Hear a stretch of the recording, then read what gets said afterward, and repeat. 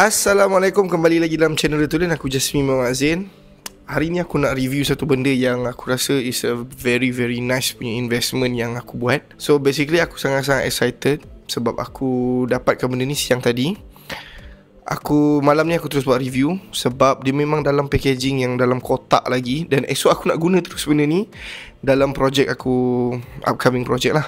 Okay untuk makluman korang Kalau korang mencari barang-barang professional gears dan sebagainya Aku suggest kat korang pergi dekat CXG Creator X Gear Powered by cans.com.my Aku adalah orang yang follow cans.com.my ni Dari aku sekolah menengah lagi So banyak gears-gears yang professional semua aku cari kat, kat dia lah. Kalau dulu mungkin kat PJ, Ampang ke apa aku, uh, Yang dulu-dulu punya lah. But right now orang dah dekat ceras sahaja. Kedai orang memang cantik gila. Kalau kau masuk memang kau teracun lah. Dan yang best kali dekat CXG ni Dia banyak ready stock. So jom tanpa berlengah lagi Jom kita buat unboxing. Check it out. Memang baru daripada kotak eh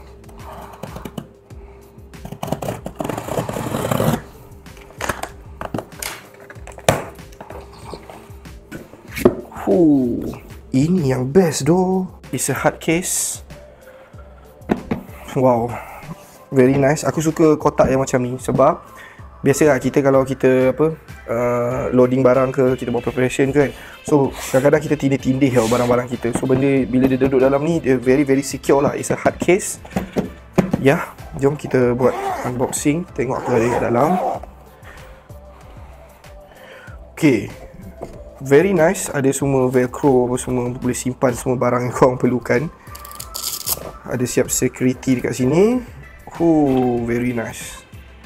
Kau nampak dia terus bagi macam ni. Dah terus assemble. Ok nice. Macam ni.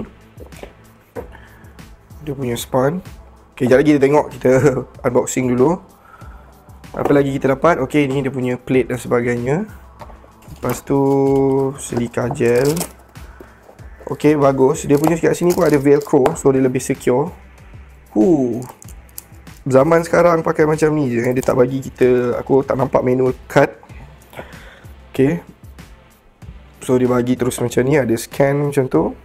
So kita tinggal nak scan kat situ Dan kita boleh tengok lah menu Apa benda Cara nak pasang Apa customization yang kita boleh buat. Alright. So dekat sini kita dapat apa ni Okay Dia punya uh. Okay Kita dapat ni. Lembut sangat lembut. Dan benda ni adalah velcro. Kuat ketat Dan dia guna NATO lock lah. Right Apa lagi kita dapat sini?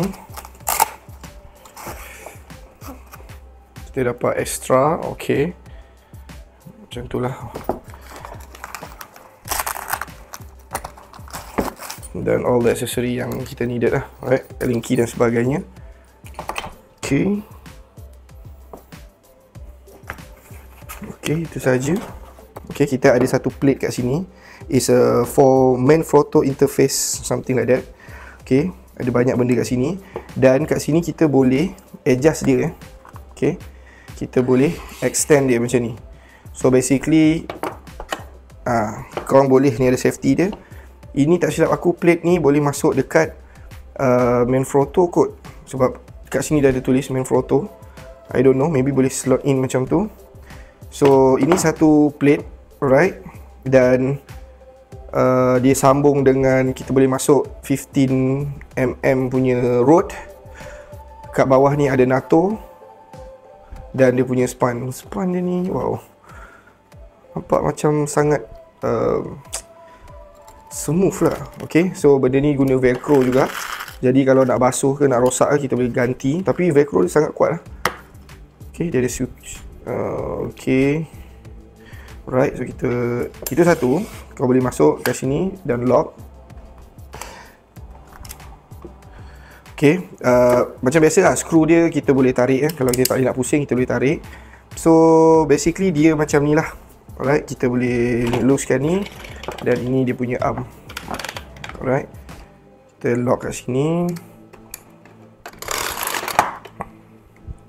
Dan dia punya arm ni selain daripada boleh adjust macam ni Okay. Dan biasa kita buat macam ni lah kan. Okay. Dekat sini juga Kita boleh extend dia. Macam tu. Dan aku suka bila dekat sini Dia ada tulis numbering Okay Dia ada tulis numbering kat sini So kita tak perlu nak macam Nak bagi sama ke Aku just letak je. Contoh aku nak kat 2 ke Betul aku terus lock Sebelah 2 So dia akan dapat balance punya ni lah.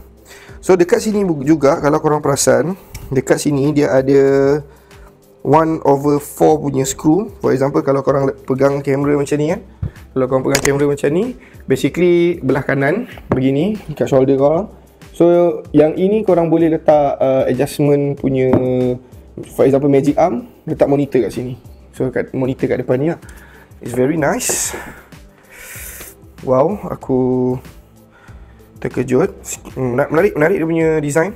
Okay so basically uh, belah bawah ni ada NATO. So kat sini lah kita masukkan. Okay. So korang oh. Okay benda ni untuk support lagi korang punya dekat bahagian shoulder. But kalau korang boleh perasan dekat sini kalau aku lock this one dia boleh squeezy sikit tau nampak dia ada benda ni so tambah lagi keselesaan korang lah. So benda ni korang masuk dekat belakang. Okay korang masuk dekat belakang Lock dia. Uh, Ni letak balik kat sini. So korang akan dapat support kat sini dan support kat sini lah Okay guys. So basically lebih kurang lah. Okay. Lebih kurang ben- Okay. So benda ni actually dia support korang punya shoulder. Something like this lah. So aku rasa kalau macam ni aku mungkin perlukan extend lah. Jadi kita boleh extendkan dia semaksimum mungkin. For example.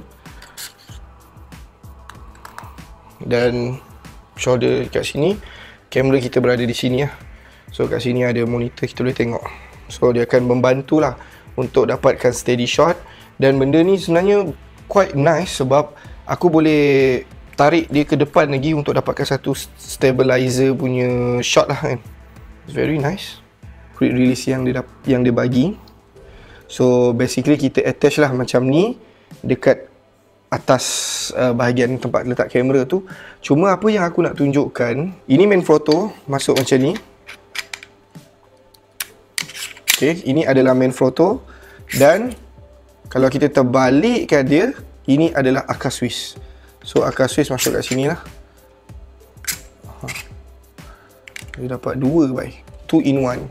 Dan of course kita dapat satu uh, untuk letak rod lah.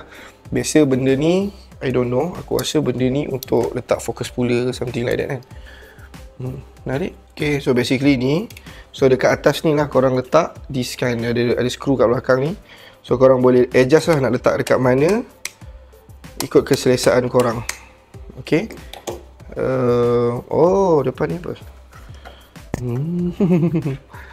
depan ini untuk kita adjust macam ni ataupun kita boleh lipat dia jadi kecil macam ni.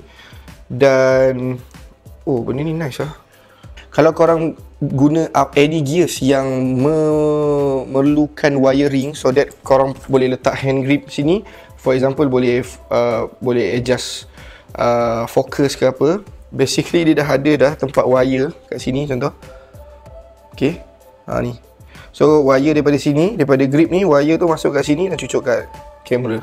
Very nice uh, Maksudnya dia bukan saja untuk filmmaking Dia boleh guna juga untuk broadcasting lah. Kita just tukar je. Uh, Tak silap aku nama dia crown kan? Crown benda ni boleh tukar Boleh cabut Dan masukkan grip yang ada function benda tu lah.